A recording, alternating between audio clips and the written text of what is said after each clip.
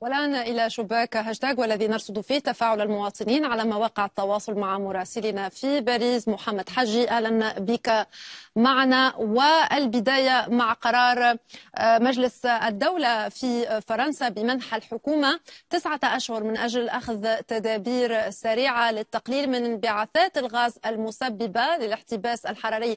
كيف كانت ردود الفعل عن هذا القرار؟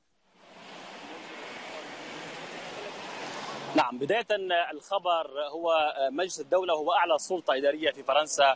منح الحكومة كما ذكرت تسعة أشهر من أجل أخذ تدابير سريعة وحاسمة للتقليل من انبعاثات الغاز المسبب للاحتباس الحراري حتى 40% إلى العام 2030 طبعا بحسب مخرجات مؤتمر باريس للمناخ. هذا القرار قوبل بالترحيب من قبل المدافعين عن البيئة من اشخاص ومن أحزاب أيضا. ويتزامن مع نشر غلاف صحيفة ليبراسيون الفرنسيه اليسارية لغلاف أصفر غامق يقول الحرارة تخطت في كندا 49 درجة مئوية. المعلق الأول هنا داميان كريم، داميان كريم وهو نائب عن حزب الخضر.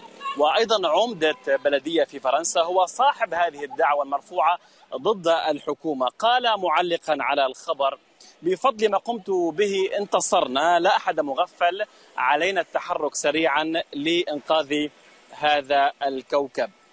المعلق الثاني جوال جوال يقول توقفوا عن أخذ الضرائب عن العمل خذوها عن الطاقة في دعوة صريحة إلى فرض ضرائب على من يخالف أو من يتخطى حدود المرعية بخصوص احترام البيئة. والمعلق الثالث هنا يقول تميز السياسة الفرنسية. كوفيد 19 ركود اقتصادي وتغيير مناخي. ونرى قرية صغيرة فيها سيدة. يتم التحدث هنا فقط عن البوركيني للقول بأن التركيز على القضايا الهامشية في فرنسا بات اليوم. يتصدر وسائل الاعلام أكثر من القضايا الجوهرية كالمناخ والعمل والبطالة وغيرها. إلى الموضوع الثاني محمد وهو حول افتتاح مصنع ضخم لنيسان في المملكة المتحدة، كيف تفاعل رواد مواقع التواصل الاجتماعي مع هذا الخبر؟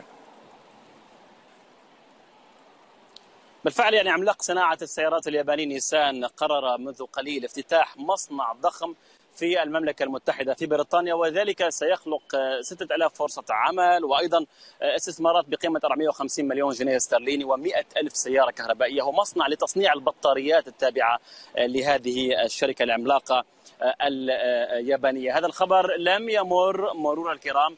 في فرنسا جارة بريطانيا والتي تركتنا منذ عدة أشهر تحت ما يسمى البريكزيت. التعليق الأول من فلوريون فيليبو وهو سياسي قيادي في حزب الجبهة الوطنية اليميني المتطرف الفرنسي يقول لكل الذين كانوا يعتقدون بأن بريطانيا ستعزل دون أوروبا قائلا لهم لا تفكروا في الدعم في دعم الفريكزيت.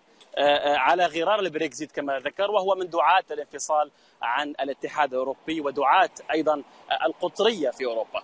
المعلق الثاني ميكا يقول الفريكزيت سيكون امرا رائعا وإن كان سيبدأ بالمعاناة إلا أنه سيكون أفضل للفرنسيين.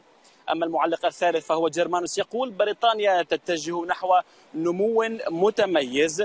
قريبا قريبا بحسب جيرمانوس سيهرب كل الأوروبيين من القارة العجوز وينفصلوا على غرار البريكسيت شكرا لك محمد.